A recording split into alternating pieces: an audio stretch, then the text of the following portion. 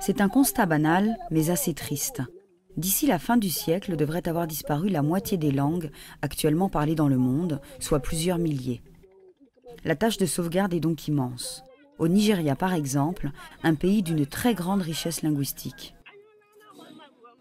Un des intérêts du Nigeria, c'est qu'il y a beaucoup de familles linguistiques très différentes, aussi différentes que euh, les langues romanes comme le français et, des langues comme le russe qui font partie de, la famille indo-européenne encore, voire même euh, aussi différentes que le français versus le chinois euh, ou les langues aborigènes de l'Australie. Et on peut avoir deux villages l'un à côté de l'autre où deux langues complètement différentes sont parlées. Il y en a beaucoup qui sont parlées par des communautés très petites c'est-à-dire quelques centaines de personnes. En tout, quelques 600 langues sont parlées au Nigeria, mais rares sont les linguistes à s'y consacrer.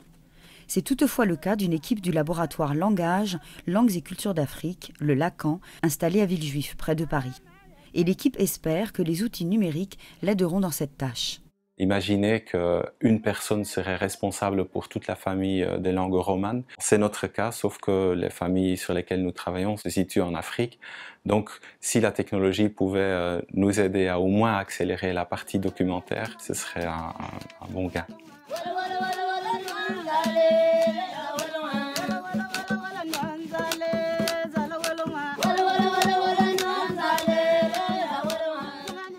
Les langues du Nigeria sont très mal connues, notamment dans les États d'Adamawa et de Taraba, dans l'est du pays. Nous travaillons sur des langues euh, du groupe Adamawa, qui n'est pas une famille euh, linguistique, probablement, on ne le sait pas encore, dont le Yungur, qui est parlé ici, euh, et le Kpacham, qui est parlé ici, le Kam, qui est aussi parlé dans cette zone-ci. Et récemment, on a découvert une langue dans l'endroit qui s'appelle Lao, aussi sur le fleuve Benue. Mais si la liste des langues adamawa se trouve ainsi peu à peu complétée, les données dont disposent les linguistes restent parcellaires et souvent anciennes. Les seules données qu'on a sur ces langues, c'est des données qui ont été récoltées dans les années 30-20 par les quelques euh, explorateurs coloniaux qui laissent une liste des mots, quelques 100, 100, mots, 50 mots, dans une transcription assez approximative. Donc c'est seulement sur la seule base de ces données rudimentaires qu'on fait des grandes théories sur la parenté linguistique euh, dans la région. Une de ces langues méconnues est le bas.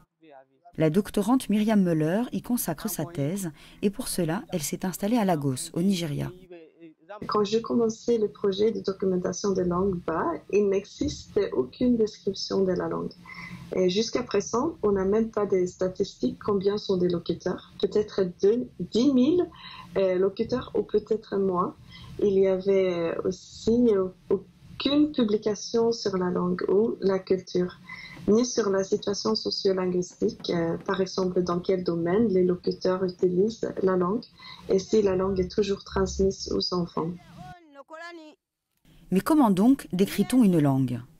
Les linguistes commencent par l'étape de la documentation, c'est-à-dire de la collecte sur le terrain de propos, discussions, chansons, contes, etc. La documentation permet de dresser une sorte d'encyclopédie de la culture concernée.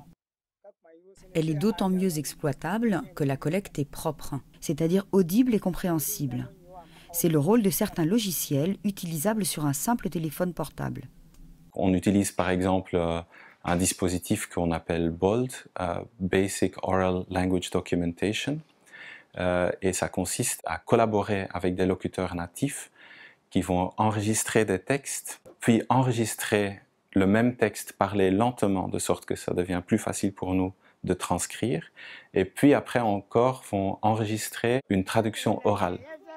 Pour la documentation, la langue étudiée est transcrite en alphabet phonétique international, une tâche pour laquelle les outils disponibles ont longtemps été une simple feuille et un stylo. Ils sont aujourd'hui détrônés par des logiciels.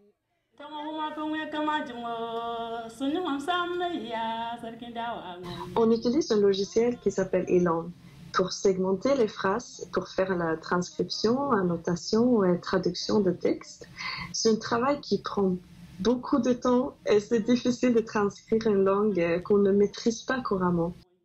Ce type de logiciel est idéal pour archiver son, transcription et traduction et faciliter ainsi l'étape suivante, celle de l'analyse de la langue avec la rédaction d'un dictionnaire et d'une grammaire.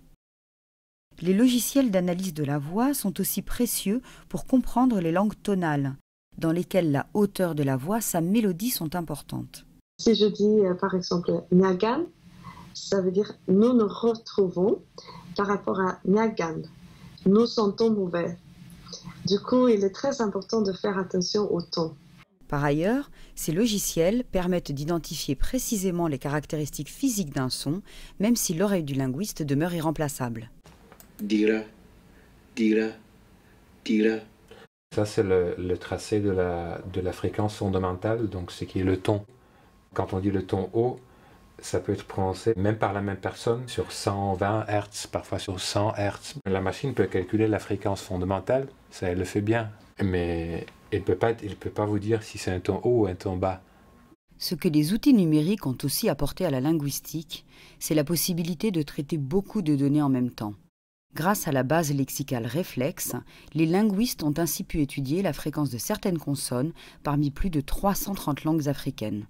Nous avons fait récemment une étude de ce qu'on appelle les consonnes labiovélaires, des, des consonnes comme B et B, donc entre A ce serait Akba et Agba, qui sont assez récurrents en Afrique euh, subsaharienne, euh, mais qui sont extrêmement rares ailleurs dans les langues du monde.